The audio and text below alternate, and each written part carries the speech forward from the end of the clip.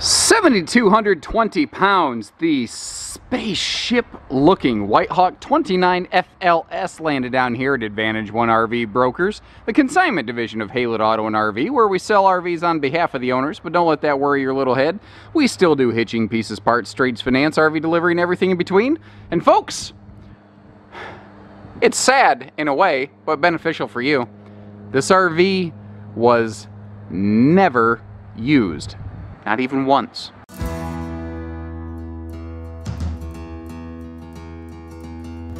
Now, if you're like me, when you hear something like that, your spidey senses go off and you instantly go, wait a minute, what's wrong with it? Why wasn't it ever used? And you freak out. And the, the good news is, that's completely unfounded in this case. The uh, original owner purchased the RV, and then work got busy. They never had a chance to use it. That's the only reason it's here. They just never had the opportunity, and they finally looked at each other go, look, it's not going to happen anytime soon. And when things kind of relax a little bit, maybe then we'll get back into it. But for now, it just doesn't make sense to keep trying to do this. I love that big fan up there. So this is an unconventional layout. This is a front living room with a rear bed full slide and like one of the coolest bedroom master suites you're going to see. But it has a really unique, different sort of layout to it. It does a lot of unusual things you don't always see. First of all, the, the, the window coverage in this is just tremendous. And they're super heavy tinted as you noticed outside. They all have uh, blackout shades, but look at those mega windows on either side of that big front kind of sofa lounge area. That is something that is very different and very cool, and it really opens it right up. Now, that in conjunction with the vaulted ceiling that you see up here, it really makes the whole living room look and feel quite, quite large. Although, of course, you can always, you know, close all those things down. But what's nice is this is not just for couples. And what's great here is you take something really made for couples and suddenly you make it very guest friendly. You can sleep one or two adults on that big hide-a-bed pretty easily. But what's great is this has a big, what I call true U dinette. It's like seven foot long. So if need be, you can slide another person over there and you can easily sleep four to five adults in this. And really, that's I'm, I'm just noticing that's an extra wide sleeper sofa like you might find, uh, say, in a North Point fifth wheel. If you had three little kids, you see there's three cushions, one, two, three, you could probably plop one of them there, you know, hot dog style and Spin them around when they're done. Focusing back up front here. I like little LED accent lights below the seating areas, just little touches like that. But both sides of that sofa have individual uh, either bright white reading or like, I don't know, flood lamps or blue reading lamps, which is kind of cool. I like the slide accent end walls there within the slide room itself. And let me give you just kind of a look over everything here, and then we'll get all the uh, kitchen storage and, and all that good stuff open. Skylight at the top of the apex of the vaulted ceiling, really opening it right up in here. And I love the really rich, warm, and welcoming color palette that we have. Down below, there's a handy little clutter cut and shoe garage, and you see the electric space heating fireplace. Now, you might notice in that stereo is the original little thing, uh, the, the little kind of flyer that just sort of sticks in the auxiliary headphone jack there's plastic still on the stovetop face. When I say this RV wasn't used, I don't mean like, oh, they didn't use it a lot. This RV was not used. Ever. Ever. You're literally getting a never used new RV at a used price tag. Now, naturally, there is, uh, you know, no warranty associated with that because even never used is still technically classified used, legally speaking. But again, holy cow, guys.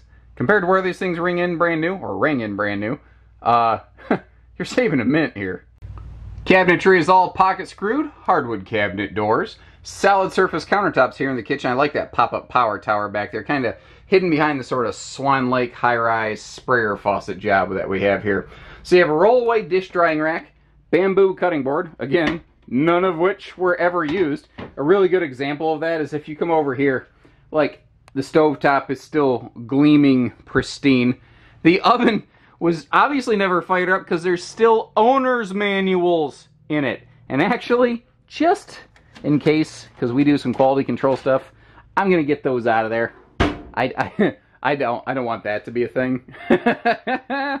Down below, great drawer capacity. And it's a deceptively large kitchen counter. It extends far past the sink, which means they had room for these big drawers over here. Now, next to the 8 cubic foot two-way oven, you uh, two-way oven, that's an interesting thing. Two-way refrigerator and freezer. There we go.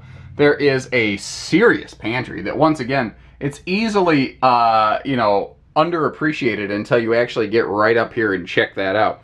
But down below the dinette, we also have some storage. There's a couple of handy doors there to give you easy storage access. Now the rear bench is a little trickier to get to, thankfully. Jayco, when they built this, added a cargo door to the outside of the slide face to make it easy to get to the uh, cargo below the dinette. From here we move through that privacy door to the walk-through middle bathroom which is really nice because if you do have some guests, they, you know, they have to walk, they, they don't walk in on top of you, I guess is what I'm getting at. You have your own private master bed in the back. And another thing is, a rear bedroom is a rare find, and it keeps you a little bit further away from the foot traffic of the campsite. If you're a little bit of a light sleeper, you might appreciate that. Now, the tall ceiling and the, due to the vault, and the skylight in front of the shower head right there, gives this thing just excellent headroom, and that is a nice big radius. For like one season, uh, the RV industry called that a spa style shower. And then that name just kind of phased out, and you never really saw or heard that again, which, I don't know, it's always weird when that happens. Now, the kitchen storage was kind of just like the appetizer, and then this is like when your your significant other doesn't finish their appetizer, so you tend to polish that off but it's the bedroom where that storage really comes in. Porcelain foot flush uh, stool, by the way. What's also neat is this door right here that I'm walking through does lock. So if you want a separate kind of, uh, you know, I want to make sure that I'm secure and safe or uh, I, I don't sleep good if I feel like somebody can walk in on me. This bedroom can provide that sort of thing. Now the look of this rear master suite back here, and, and I think that is a good descriptor for it. It's unlike virtually anything else. So first of all, this is a 60 by 80 true queen, but if you're looking at the model, you can see it does appear to be king capable. There's plenty of room on both sides of the bed. You'd sacrifice a little bit of walk around space, but you get a bigger bed, bed at night if that's what you're interested in. Then down here, you see this interesting little, it's a good place to like sit down to put on pants or shoes. It could be like a little reading nook or something like that but it is flanked by and surrounded by nothing but storage space. Pulled that shade to get some of that extra light pollution out of there to give you a, better look at this thing, but I mean the the total storage here, because you look at this and say, oh man, they lost some storage with that, that rear window. I don't know. I don't know. I think this thing still got plenty because that closet right there actually curls around behind that side of the entertainment center. If you choose to add a TV here in the bedroom, you're staring directly at it, which is cool. Extra dresser drawer storage over here. But as we get past the second entry door, which does have a deadbolt for security purposes, you see we've got like what looks like another closet over here in the corner. Check this thing out. And it kind of curls around uh, behind the bathroom a little bit. But you can see that's a hanging closet space. You've got dresser storage uh, down below, the triple drawers down there. I mean, it's different, but they really utilized every single ounce of space they possibly could in here. Another thing is this RV, Jayco was way ahead of the curve on this. Everybody and their brother is some kind of solar prep or has a solar package. Jayco was doing that for years. You can see right here, it is all wired on the roof uh, with a solar prep plug. And if you choose to add that, this is where you would mount your charge controller. Now, if you're interested in things like MORryde stable steps, we can assist you with all that just down the street at Haylett RV of Coldwater, Michigan. Uh, you know, we've got our full parts and service department down there. Uh, but this was made just the season before a lot of that became available. But the year that they first went to that, I call it spaceship nose cap. That's the year that I really felt like, ooh, White Hawk's getting super serious. And it's interesting because a lot of people want to compare this for some reason to something uh, maybe like a, a passport, a conventional ultralight. White Hawk, though, if you really start looking it up, if you look at its equipment, it actually is a much better uh, direct parallel to something like a Keystone Cougar that we might have down at Haylett's, which is what I call an ultralight plus. It's a little heavier. It's a little more highly equipped. And actually, one of the things that Jayco didn't know the year that they built this, because they never tested it, was that this is actually zero degree capable. They never advertised White Hawks as such, but uh, in the current 2021 model year, they actually did cold chamber them and found out, oh hey, look at that, we actually can be zero degree rated. Very cool.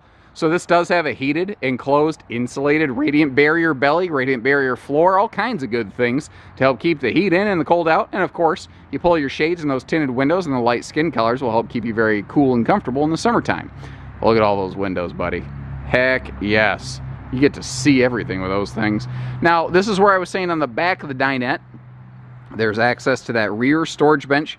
If you want to, you could still lift the cushions and get to all the storage space, but you don't have to. And you can see how this is completely segmented. It's uh, There's little partition walls for the, uh, the L bench, the seating bench on the side portions right there. As we uh, work our way toward the middle of the camper, you're going to see your, your sewer hookups, you know, power, water, all that. Black tank flush, camp shower, good things, and a wide stance stability axle system here. And that will basically help a, a shorter wheelbase vehicle tow this more easily. It'll take a lot of the twist and wiggle out of it. And that uh, those are Goodyear Endurance radials. At the time, uh, there was nobody else in the towable RV market. Well, I'm sorry, the mainstream towable RV market. There were a couple specialized guys using Goodyear Endurance radials. And Jayco has stuck with it. And since then, you're watching groups like uh, Rockwood and a few others say, all right, all right, you win. Everybody's asking us about those tires. I guess we need to have them too. Jayco's been doing it longer. Kind of like the LED taillights. This has the J Smart lighting system on it where your turn signals like this side clearance uh, marker over here next to this baggage door that will blink when you turn uh, left and well obviously you got to flip on your left blinker which those are those are not suggestions guys you know tell tell your friends uh, the, the people who just like change lanes without using them it's it's th those are not suggestions those are actually really really handy for everybody else now the reason I wanted to take you through that little cubby hole back there is with this being a front living room it doesn't have a traditional front pass-through compartment. Instead, what they do, because it has a rear bedroom, and you've got those like dual closets and the bench, is that storage runs below those closets and the bench. Kind of nice. Uh, she is rear view camera ready. Uh, down below the, uh, the ladder, just below the bumper, there's a gas grill quick connect as well. So if you want to do a little bit of Blackstone griddling, grilling, what have you out here, you're good to go. But if you notice as we go down to even the campsite of it, every little nook and cranny opens up and does something. Below the entertainment center, you've got a storage pocket there. If you wanted to, both entry doors are wider. You could put the stable steps on both if you're interested. That's stuff we can assist you with. And then over here, just there's this random pocket of space below the bathroom closet and they said, you know, it's behind the toilet. Nobody can ever reach it.